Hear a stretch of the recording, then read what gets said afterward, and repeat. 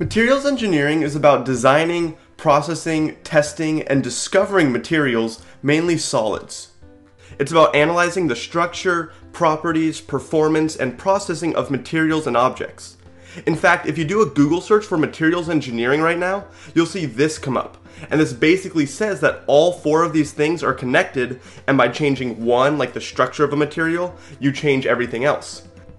But let's first start with careers. Like, what would a materials engineer be doing or be needed for? Well, like I said in our aerospace video, aircrafts traveling at supersonic speeds are subject to so much friction from the air molecules that the aircraft can be heated to several hundred degrees Fahrenheit. The materials engineer might have to figure out or design the best material to use that can handle these conditions. Materials engineers are very important when it comes to cars. Did you know cars are designed to crumple when they are in a crash? They are made to have that accordion like response and it saves lives. The cars crumple to absorb energy from the crash and they need the right material and structure to do this. If the car was extremely tough and no damage was done in a crash, all that energy would be transferred to the driver. The frame of the car may have harder metals at the top compared to the bottom because of how that will transfer energy from a crash away from a driver. How a car will be impacted in a crash is kind of predictable because that's how engineers design them, and a huge part of this is picking the right materials with the right properties. And on that topic, materials engineers deal a lot with fracture and how components fail. So you could work in a failure analysis lab where you have broken parts that can range from jet engines to computer parts and have to figure out what went wrong, and it's really about looking at the structure and material itself. The materials engineer who wrote this video with me had a job in a failure analysis lab where he had to look at the landing gear of a plane. But not shown here, the landing gear had a huge crack around it which almost broke it during landing. So he had to use a microscope and analyze the microstructure of the landing gear. This is a micrometer scale picture but tells us a lot. At this scale you can actually see where the crack originated from and how it physically propagated through the structure. The crack isn't shown here, but you'll learn how to analyze these in school. And guess what? Just like with the car, landing gear is designed to fail like this. The material and structure is designed so that if it failed, it wouldn't just snap. It would crack along a certain path so that during landing, even though there was a crack, the plane could still make it through the runway. So a materials engineer could also design how a structure will fail if and when it does. Then based on the failure analysis results, we can design even better landing gear and various other structures. Or maybe if a computer part failed, you're not going to do circuit analysis like an electrical engineer would, but you may be looking for a soldering issue where there's a connection problem and a component came loose from the circuit board. So again, you'd have to analyze this on a micro scale using a microscope and determine what happened and why. They also have to deal with corrosion, which is a big field for materials engineers, and you can even take elective classes on this in college. Corrosion is destructive to metal, so any pipes that carry some fluid will be subject to corrosion and need to be designed properly. Whether it's pipes that carry water to and from our houses, ones for oil, ones in our cars, and so on. Or various marine technologies like submarines need to be designed not to corrode from all the interaction with salt water. Planes also need to account for this, and there's many more. And different environments these are subject to, like freshwater, saltwater, oil, etc., cause for different types of considerations when designing them. Materials engineers need to take preventive measures to pick the right material to account for all this. You could work on biomaterials, which is something biomedical engineers take classes on as well. But biomaterials are used for constructing artificial organs or to replace bone or tissue, and these materials need to interact well with the human body and not cause harm. For example, there are hydrogels that are needed to repair damaged heart tissues. This incorporates biology and is something you could take an elective class on as well, or you could see in grad school if it interests you. You could work on making superconductors, which are materials that have no resistance to electron flow, like no heat or other form of energy is given off, unlike your electronics which get hot as you use them. And superconductors can be used for high-speed digital circuits, particle detectors, trains that use magnetic levitation and don't make contact with the ground, and so on. They can also work on materials processing and manufacturing. Materials engineering isn't just about analyzing properties of materials and how to use them, but also better ways to manufacture these materials, like with the fabrication of semiconductors that are used in our electronics. Electrical engineers may do circuit analysis with these, but how those components are made is done by other types of engineers, including materials. Or you could work on the study of carefully rearranging atoms and molecules to form new structures that have better mechanical, electrical, and magnetic properties for a material. This is also known as nanotechnology. The way the atoms are arranged are what gives the materials a lot of their properties. It's why some things break when we drop them, and why other things stretch when we pull on them. If we can manipulate the arrangement of atoms, then we can change the object's properties and how it behaves. We can use this to create solar panels that can absorb energy much better, all the way to making glasses that won't break when being dropped, but there are so many more applications.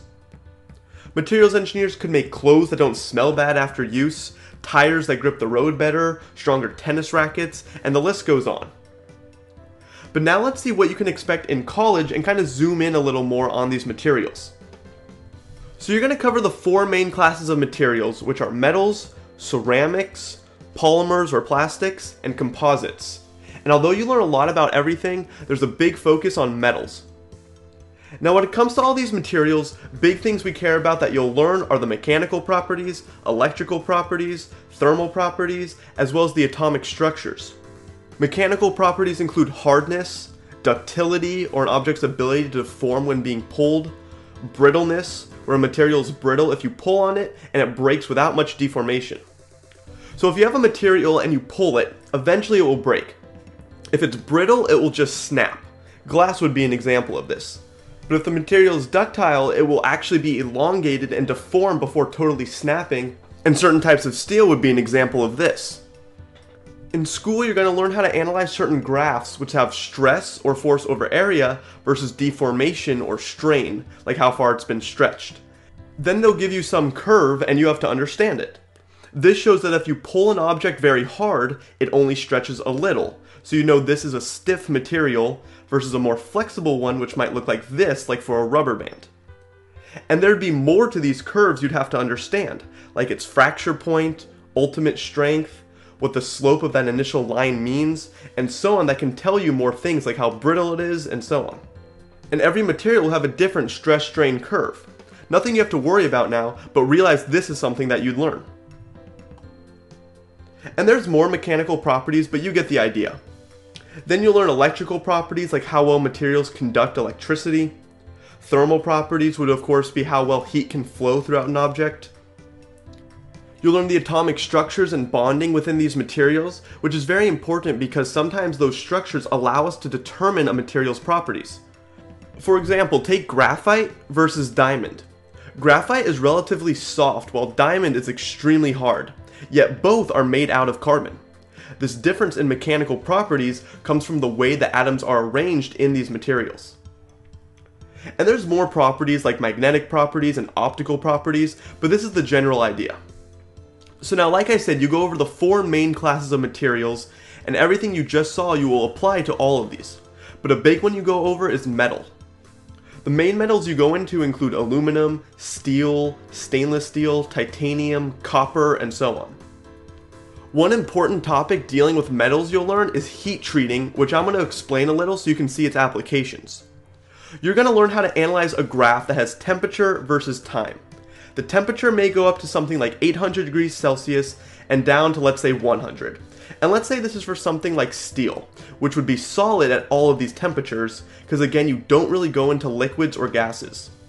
And the time may go from 1 second to something like 100,000 seconds, or about 28 hours. Then on the graph, you'd be given something like this. Don't even worry about what these are right now, just realize these are the different transformations the material can go through. Different materials have different looking graphs, just like this red and green curve actually represent two different steels. So let's say we heat up steel to about 800 degrees Celsius and start there. Then we cool it to 100 degrees Celsius in one second, so very quickly. That curve, or line in this case, tells us which transformations this material goes through during cooling. See how it goes through those regions with an M? This goes through different transformations than if we slowly cooled it to the same temperature over the course of about a day. So what does this do?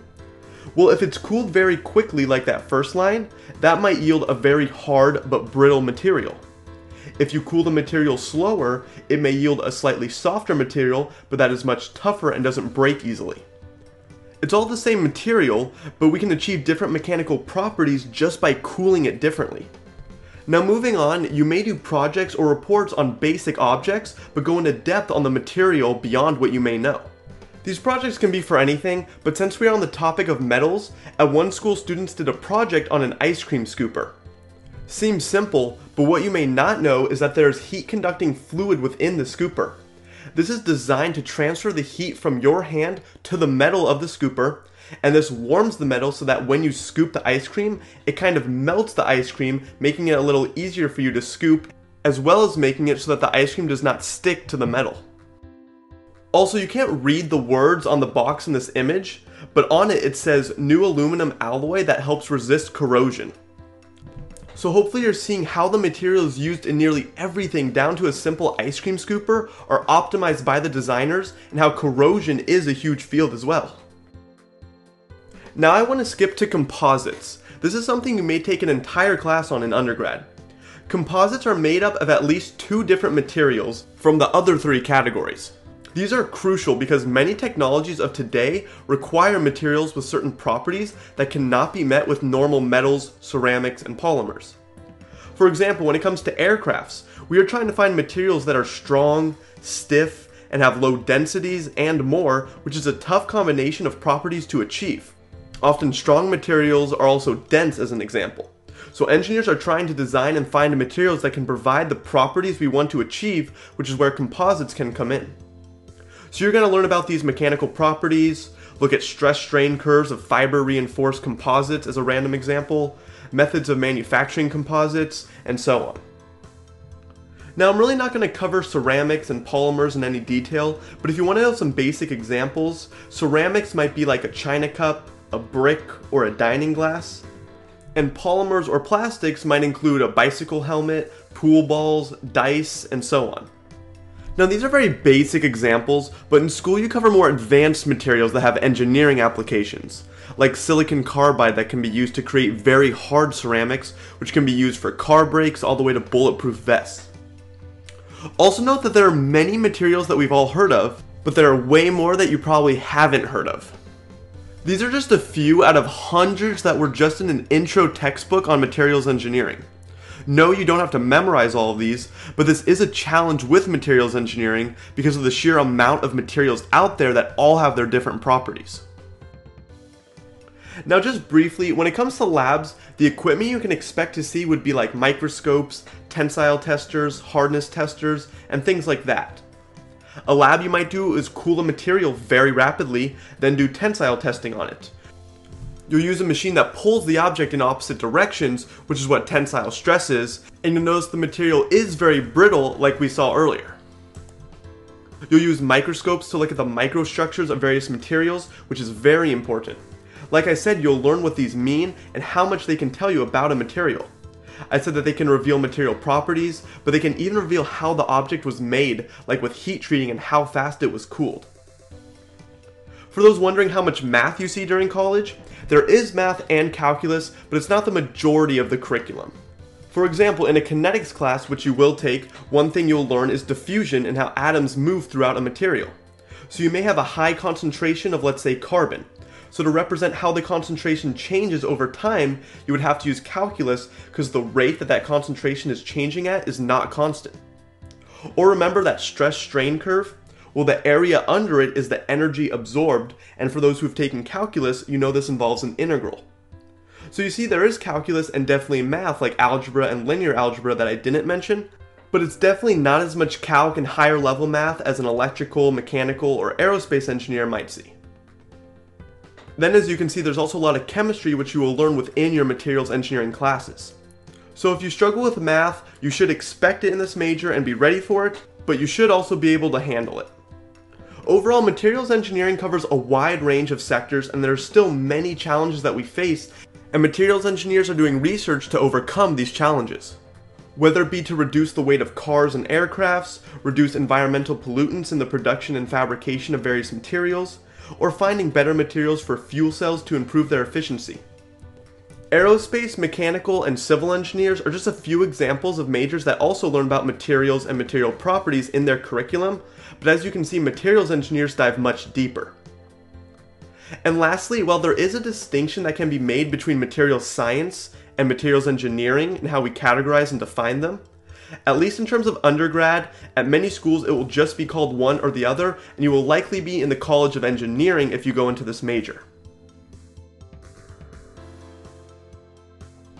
If you like this video, don't forget to comment, like, and subscribe, and I'll see you all next time.